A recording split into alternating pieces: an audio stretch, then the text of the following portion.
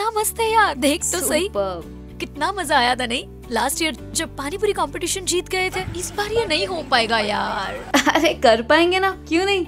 शेरिट की होममेड पानी पूरी जो है जो टेस्टी भी है और हेल्दी भी। तो चल स्टार्ट करते हैं।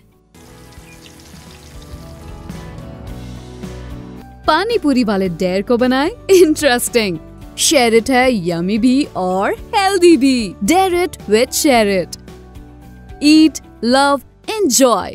Available at stores near you.